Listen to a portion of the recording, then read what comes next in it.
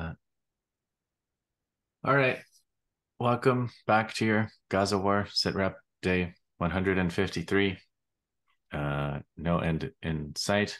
Uh, what did you say, John? What day 126 of the ground war? Oh yeah, I just closed it, but yeah, 126 days of ground war. 126 days of ground war, 153 days of war.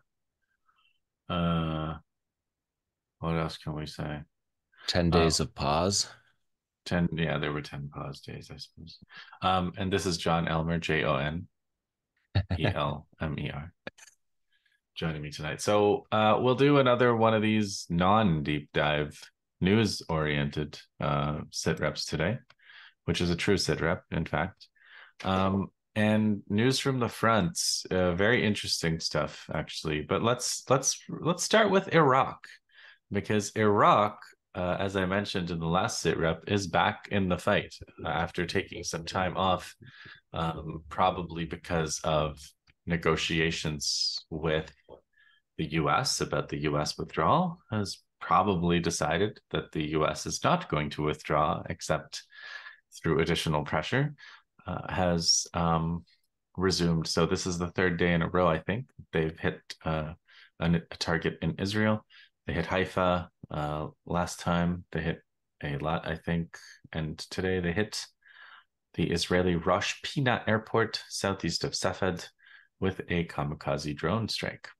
So they're back. They also said, I saw a speech from one of the resistance leaders in Iraq, and they said, Our first priority is the liberation of our land from America, and the second priority is uh, assisting the Palestinians uh, in their just struggle. So that's them. Uh, Hezbollah in Lebanon uh, announced, I don't know, five, ten different attacks today.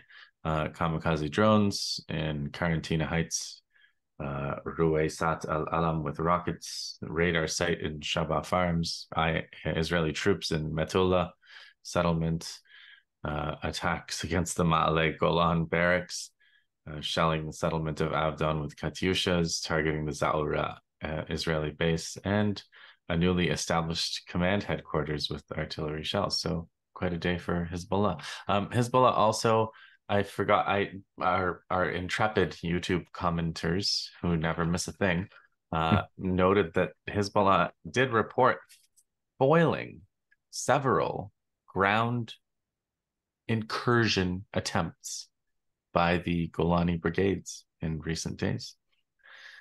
I don't know what they were planning to do. They were not it's it's not that they went big but they did make a series of infiltration attempts, which I suppose they've done numerous times in times of peace and in times of war. Uh, they try to send small groups of troops in, maybe to assassinate somebody or plant listening devices. Plant listening devices. I have seen a special about. Uh, we we met we mentioned in a sit rep many moons ago after a speech by Hassan Nasrallah, the general secretary of Hezbollah, where he was extremely angry about the use of phones and and Amazon rings and these kinds of devices and how how much the Israeli benefit the Israelis benefit from them. And there I saw a recent report of along those lines about how how integrated into the Israeli kill chain and assassination network the cell phones of Lebanon Lebanese people are and their devices are very important in that. Yeah. Um, yeah. I think that's yeah. So he's they're dangerous devices. When he's trying to, when you, you see Nasrallah making speeches and trying to explain operational security to his audience of millions of Lebanese people, so it was it's always interesting. Um, for someone whose job is basically like to lay out the grand strategy and and priorities to get into the nitty gritty of like stop turn your phones off for god's sake. Yeah he said put them in a faraday cage. Yeah.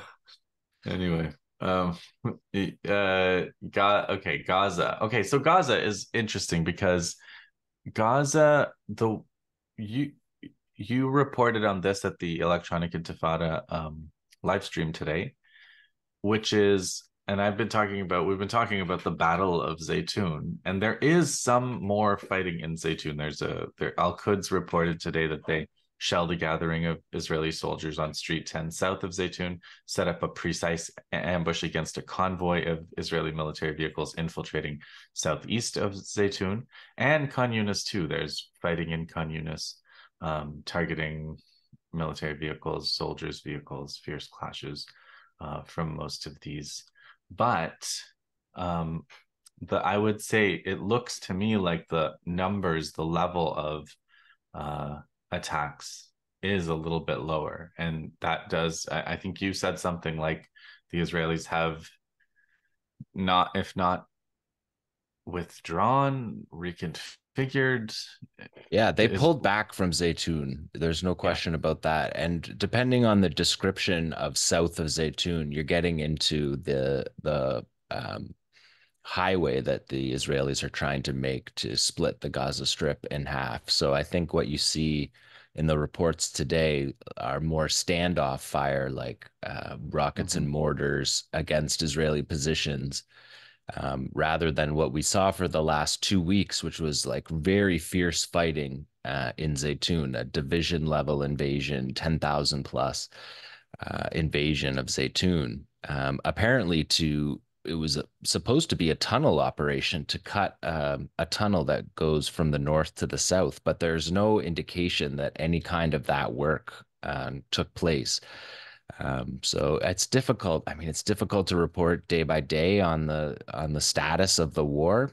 Um, yeah, because it looks like always... a failed operation, another failed operation in Zaytun, and failed operation in Khan Yunis too. They had to rotate out their force in Khan Yunis, which they surely didn't plan on when that force went in in December.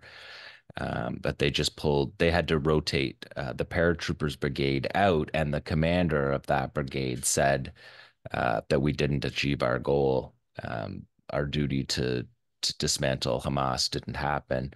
I mean, the battle in Khan Yunis really came up with nothing for the Israelis propaganda wise. The, the most they were able to accomplish was um, sniping innocent civilians in Nasser Hospital um, but they didn't ca- they didn't get any information on captives, which they said you know they built this up in Khan Yunis as if this was the center you know the centerpiece of the resistance was going to be in Khan Yunis, and they got nothing to show for that battle um, in terms of propaganda, and so that's why you see. Netanyahu saying things like, "Well, if we don't go into Rafah, then you know people who say we who are trying to stop us going into Rafah are trying to have us lose the war. Um, so they really are staking it on. I mean, they're just kicking the can down the road. They can't five months uh, they've been given, which is considerably longer than I think the Americans had in mind to allow it, uh, this killing to uh, carry on. I think that the Americans, I think their original thought was that it would wrap up in January sometime.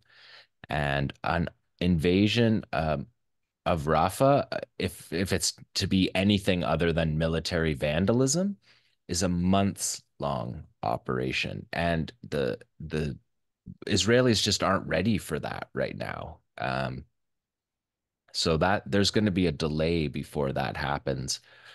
I mean, Biden just said in his State of the Union uh, that they're going to build a is this jumping ahead? They're going to no, build ahead, a pier. They're going to build a pier in Gaza to uh, offload, uh, like to to build like a, a temporary military installation, like a floating pier that can offload larger amounts of of aid. Um, but there's still like even even that.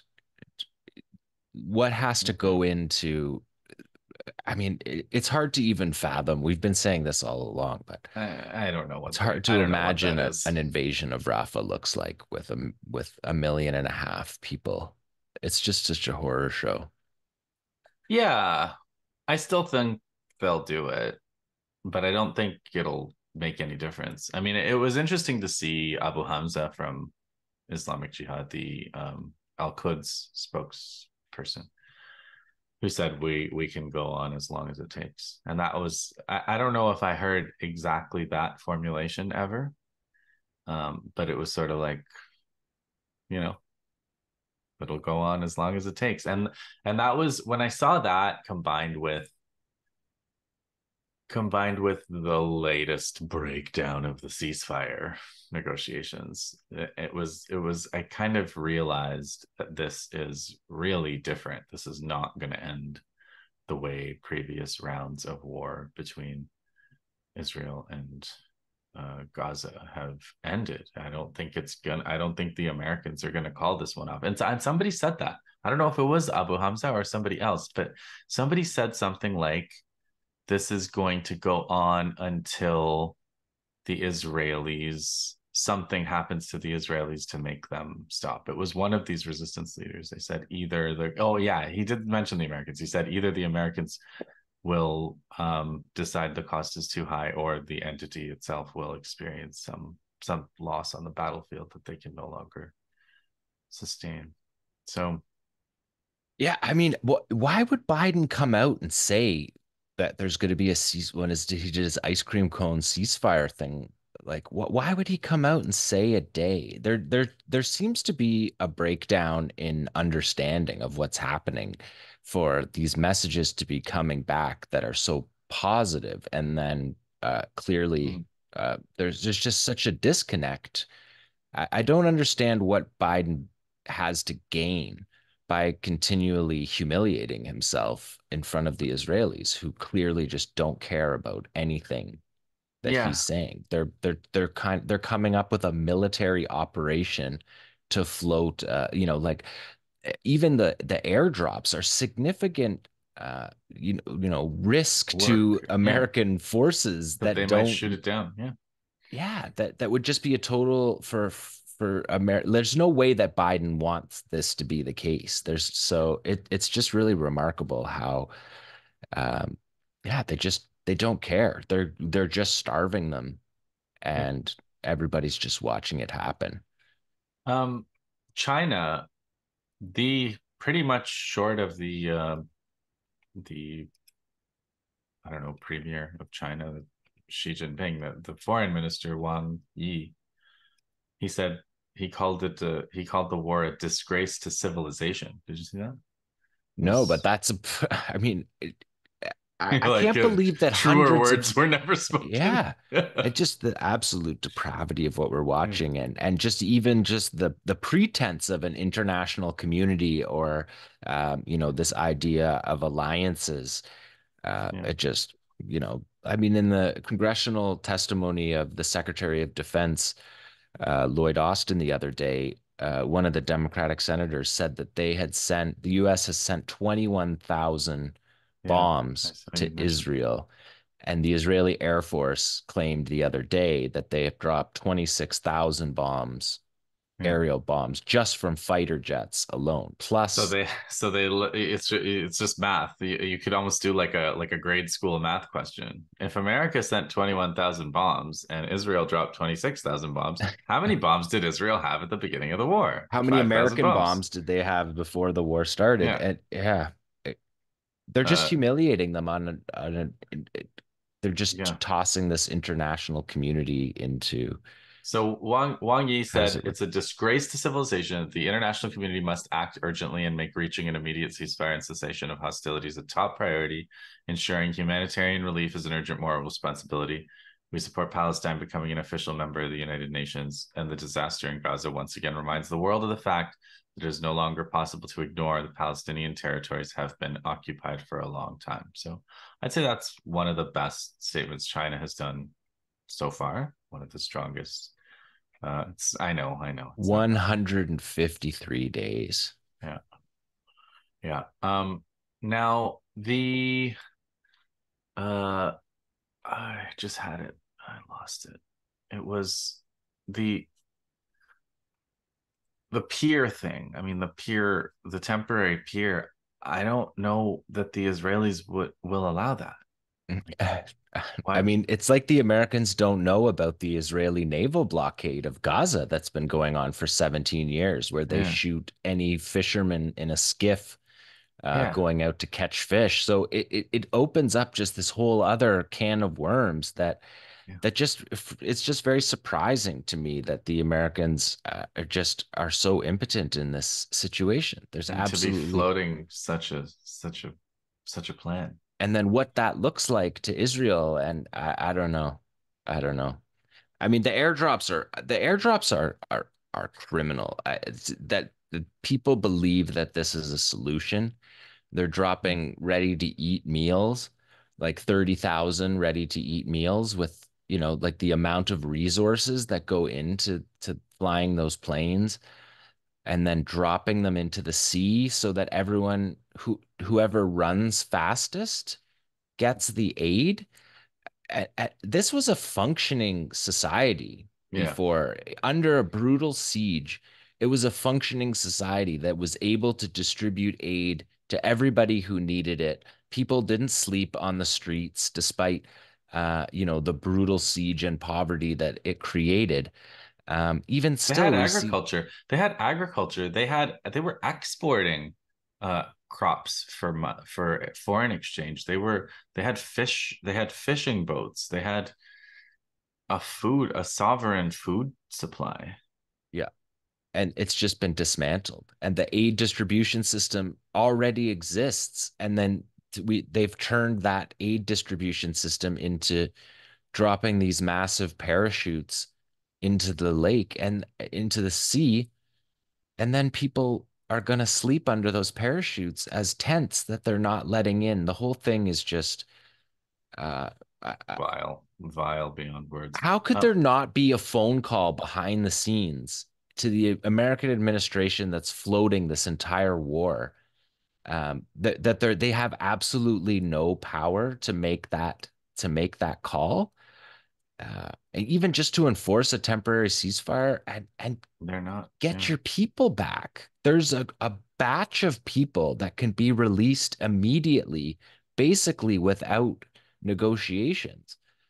Uh, and and Israel's not even releasing them. Abu Ubaidah said the other day that they believe that Israel's killed 70 of the captives.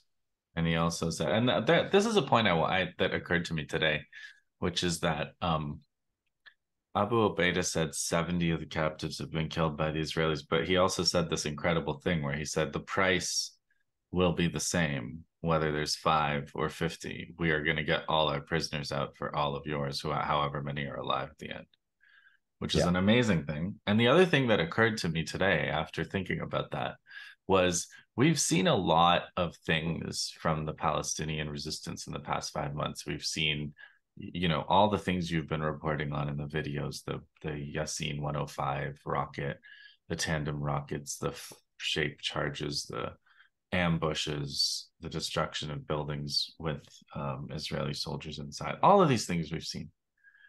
We have not seen them taking additional Israeli military prisoners because they don't need them.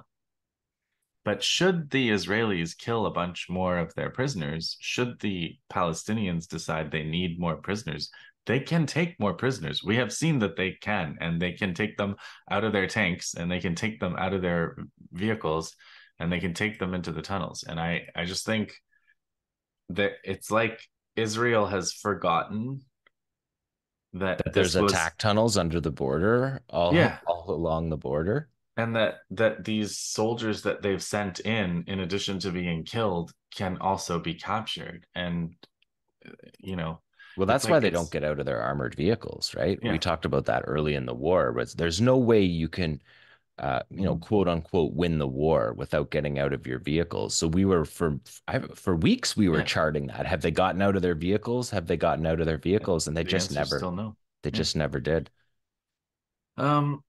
So you were saying they need to. Uh, the other thing I wanted to say was uh, the commander of uh, Ansar Allah, um, Syed Abdul Malik Houthi, also did a speech today, and lots of stuff as usual from him. A lot of important messages, but one of the one of the ones that raised my eyebrows was that he said um, two hundred and eighty-two thousand men have been trained See, that was the thing. He said so far with that number that you quoted a couple weeks ago or however many days. I don't know.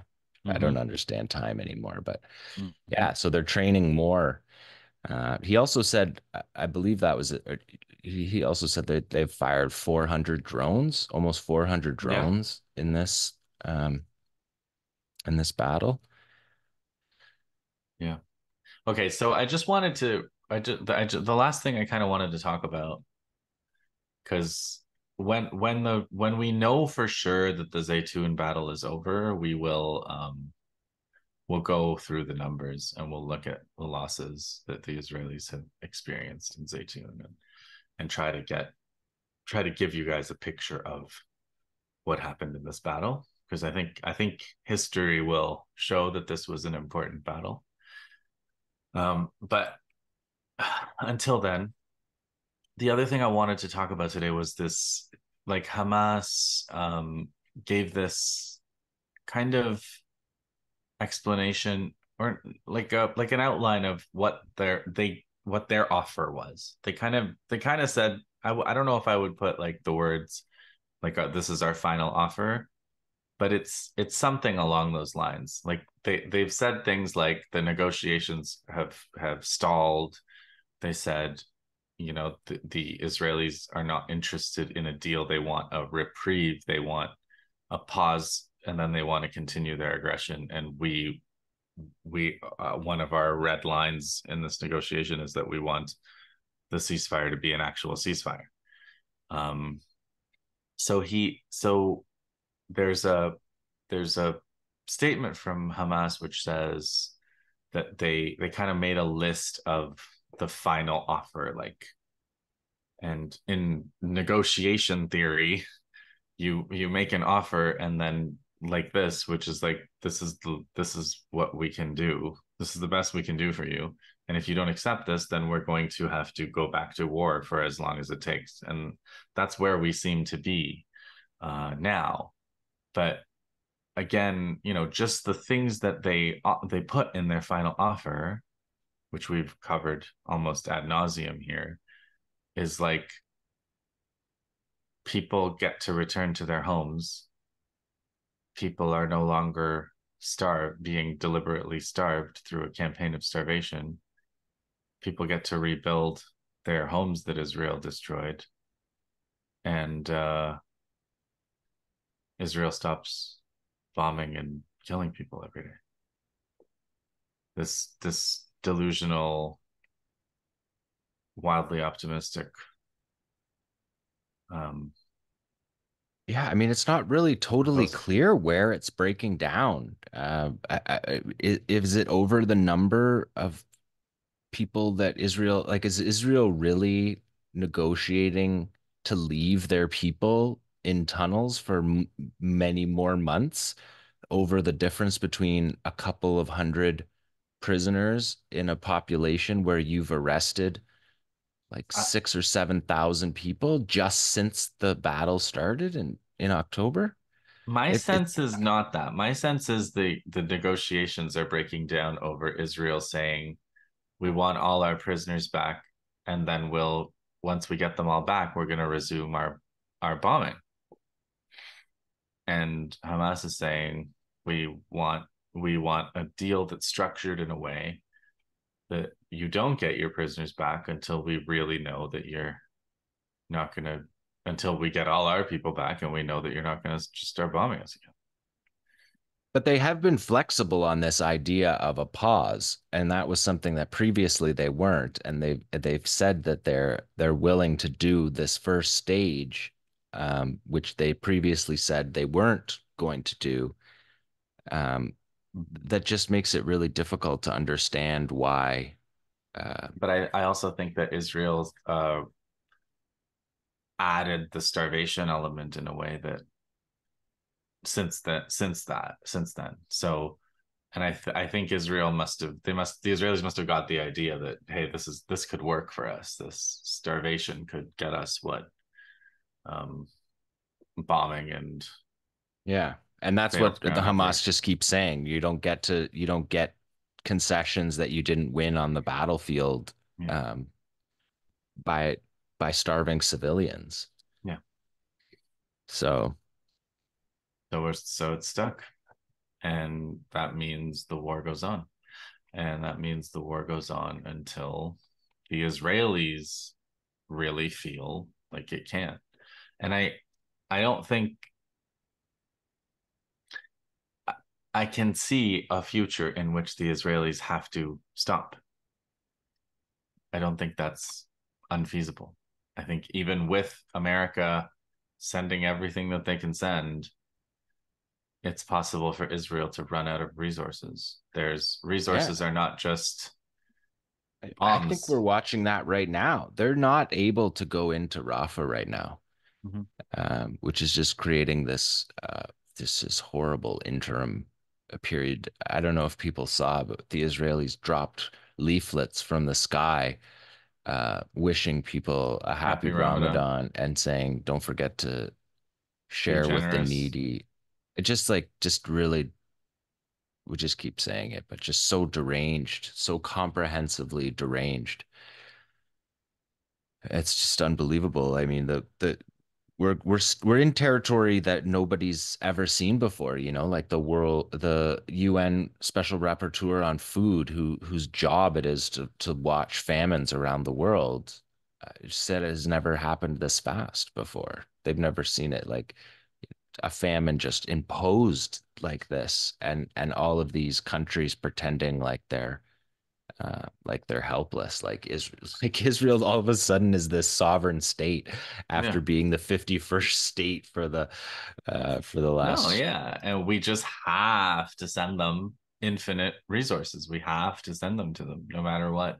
Yeah, and without yeah. those resources, the war would stop almost immediately because Israel can't go into those. Um, you know, like they still have to be ready to fight a war in Lebanon they they can't. I mean, Lebanon, Hezbollah has the ability to collapse their state. They can't just take that for granted uh, on the northern border. So, um, yeah, it's just it's it's. Yeah, I mean, at first I thought the starvation might work for them, but now I don't think it will. Uh, I just think they're just gonna starve people while they the war continues as it as it's been as it's been continuing.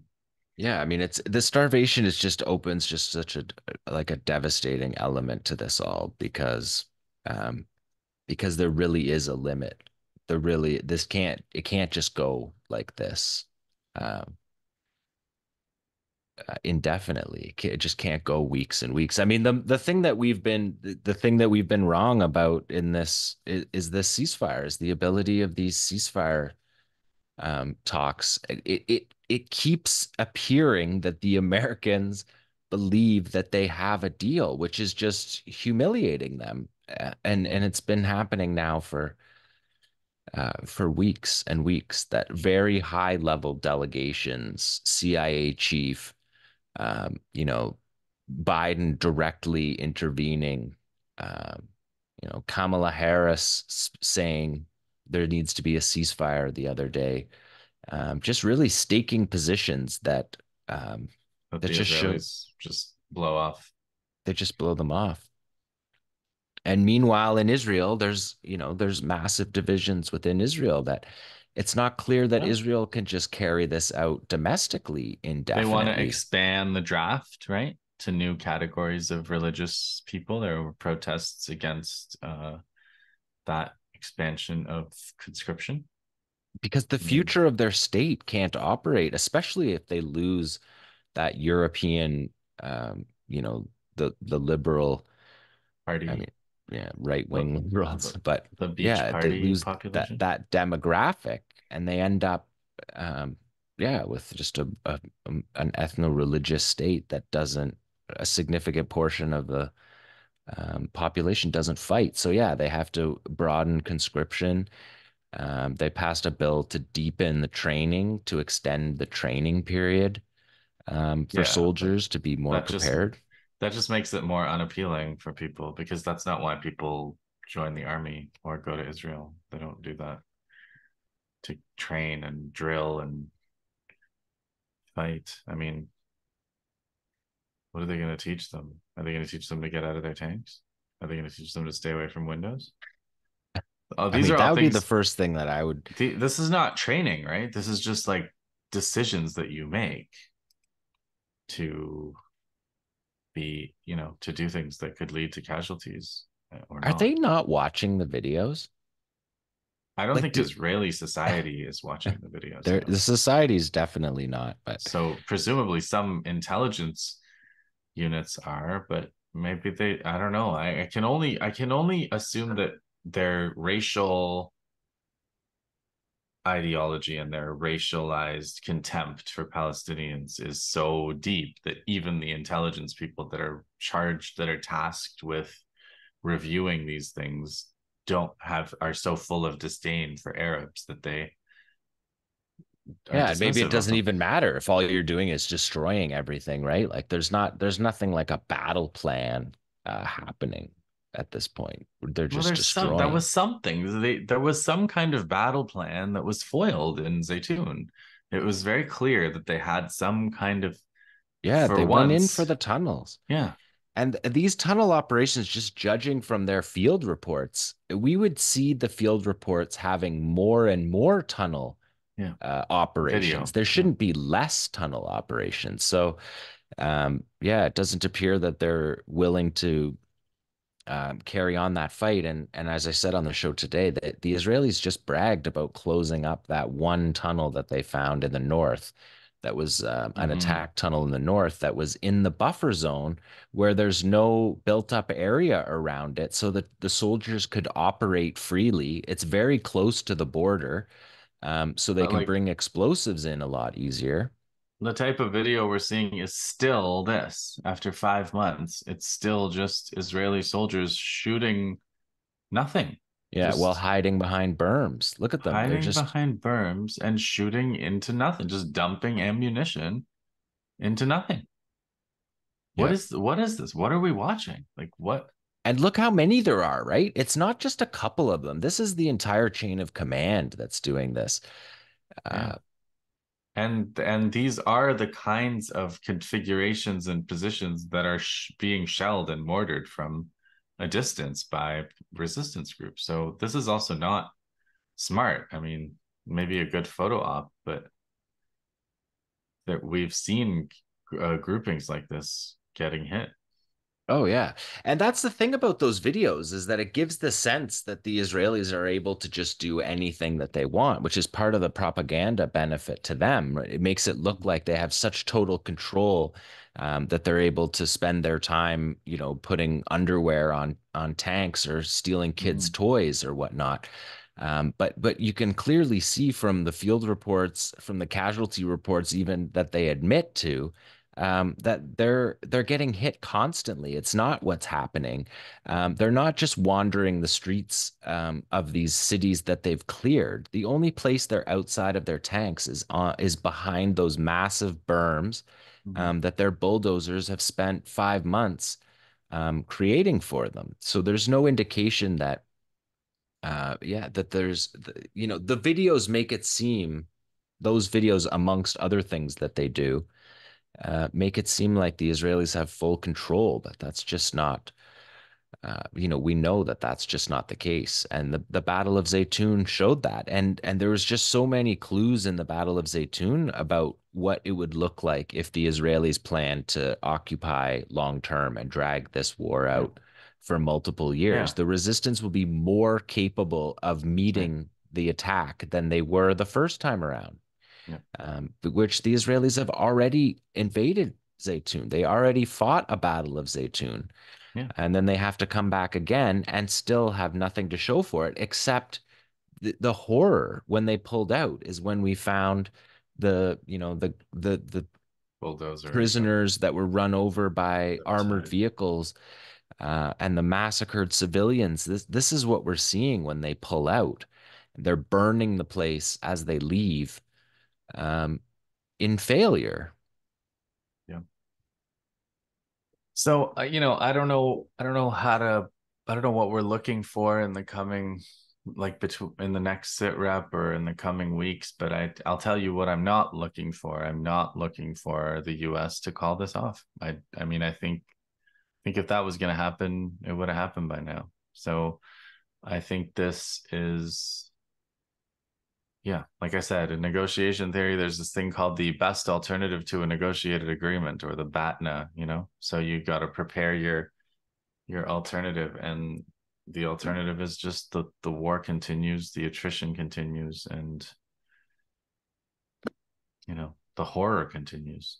And yeah, I mean, I, I think they're they'll be defeated in Rafah.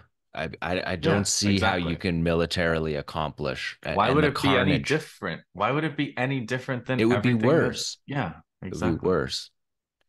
It would be worse because you've telegraphed this battle now for months. Mm-hmm. Um, your forces have already shown what they can do. Mm-hmm. Uh, you know, the battle in Khan Yunis, they're able to move between Khan Yunis and Rafah, the fighters. Um, yeah. it, yeah, there's there's no outcome where this benefits uh, Israel to drag this on. And the longer they do this without, you know, with the just completely devaluing their own people. Um, yeah, and and the other thing is like their their better troops are the ones they've used up, and so in a in a after five months, a conscript army that's taken unknown numbers of casualties, thousands, I think, is and and between disabled, you know, you've seen the videos and photos of the many really horrific uh, injuries that Israelis have, you know, permanent disability that they have. And what they have what what they're going to be sending into Rafah is also not going to be their best troops. Uh, it's going to be reconstituted units, you know, people that they've put back to, you know, units that they've put back together after withdrawing. Yeah, they just have the like an unbelievable ability to create like mechanized uh you know targets destruction yeah just hmm. like systematic destruction that they don't have to they don't have to be good soldiers to to carry out a yeah. genocide yeah yeah I there's guess. nobody when this war is over there in in 5 years from now there's not going to be anyone that writes about how Israel won this war. It'll be the same way that people talk about Iraq. There, there's just no the lies that have gotten us through this period aren't going to hold up to any mm-hmm. kind of historical scrutiny. Yeah. Well, that's it. That's all I got. That's the situation report for that's, for today. situation report for day 153 um, like and subscribe, and we'll see you in the next one. See ya.